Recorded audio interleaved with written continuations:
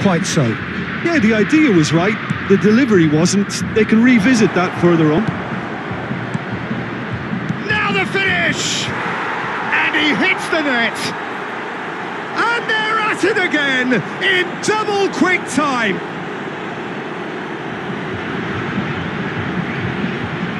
Well, I think he knew all he had to do was get it under control, and it was always going to end up in the back of the net thereafter.